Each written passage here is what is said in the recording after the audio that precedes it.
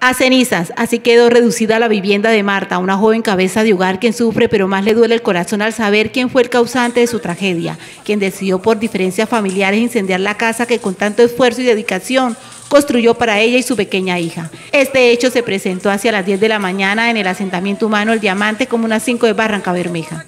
Me dijo que él iba a desbaratar la posilga, como le dije yo, yo le dije que la, la posilga pues que le había dado techo ya prácticamente seis años.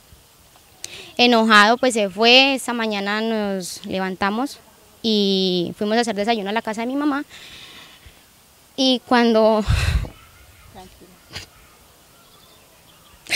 cuando nos dimos cuenta, no teníamos sino como cinco o seis minutos de haber salido de la casa. Cuando nos dimos cuenta ya la casa estaba en llamas. No se pudo salvar nada. Esta humilde familia quedó prácticamente en la calle. Vecinos fueron los encargados de ayudar a sofocar las llamas mientras llegaba bomberos voluntarios, quienes se apersonaron de la situación. La madre de la joven asegura que esto es como consecuencia de una de las problemáticas sociales que hoy afecta a la ciudad.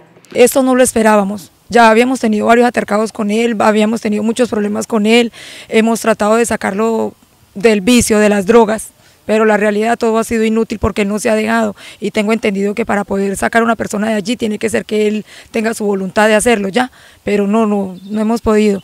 La realidad es que eh, las drogas llevan a todo esto, decimos que fue las drogas porque si él hubiera estado en sano juicio, no, no hubiera metido su vicio, no hubiera sido capaz de hacer lo que hizo. Hoy piden la colaboración de los buenos corazones de la comunidad barranqueña para poder construir nuevamente su vivienda. Juan David Alzate, el cual provocó el incendio, este, pues mi llamado a la comunidad es que nos colaboren con lo que puedan.